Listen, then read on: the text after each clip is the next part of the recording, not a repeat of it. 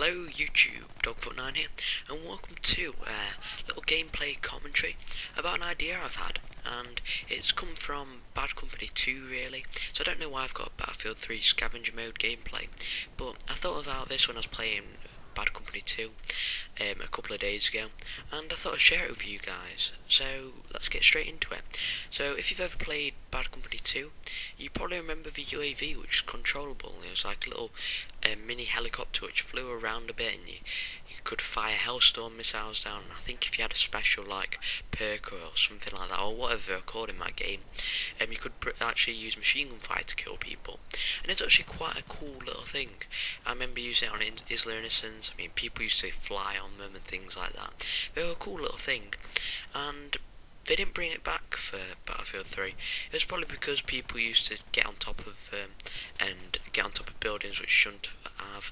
And if it was used in this game, it would probably be a bit like the MAV, where people used to just fly them up and down and get on top of really high buildings, and kind of make the game a bit um, less enjoyable for people who are actually playing it without cheating.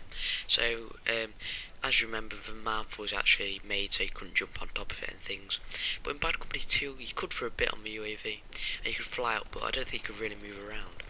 Now, the other day I was thinking about the jet only game mode, or playing air superiority, or whatever it's going to be called, in the new endgame DLC, and I was thinking, hmm, I wonder what, why, um, I mean, I mean, I wonder um, if they would bring back something like um, the UAV.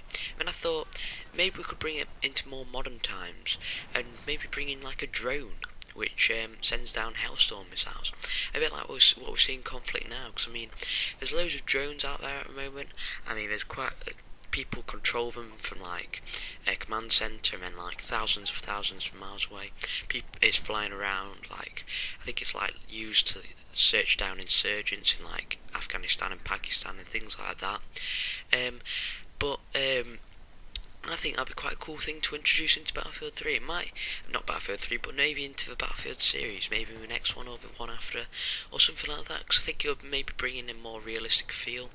It might slightly slow down the um, the gameplay, but if next Battlefield is on the um, next gen consoles, then it probably will be 64 servers for everyone, so it won't really be affect. It won't really affect like a certain console. So it will kind of give the developers more of like a leeway in which um, in how they develop their games. So they can maybe make um, the next Battlefield with 64 man servers, and then maybe put couple of these drones on each map, and maybe make the maps a bit bigger or something like that. And I'm just thinking about that in that point.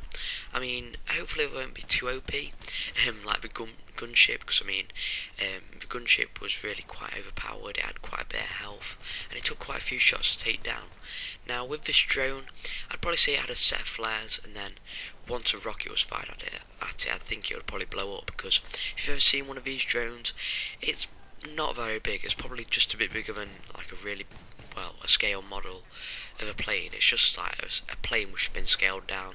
No one controls it, and it's probably about I don't know three foot long or something like that. Well, well that's how small you could probably get them. Um, but there are some bigger ones and things like that. But um, so if a rocket did hit them in real life, I think they'd probably blow up. Um, um, I think they'd have to have pretty good armor and pretty good like detection systems and pretty good man maneuverability for them to be able to dodge out of the way. So yeah, if you've liked this video guys, um, please hit the like button. If you've got any suggestions or um, your opinion on this dr drone system, which I'm thinking of, um, then please leave it in the comment section below because I always like to hear your guys' feedback. And until next time guys, I'll see you later. Now I don't know what sort of video it will be, it might be a FIFA video or a Battlefield video.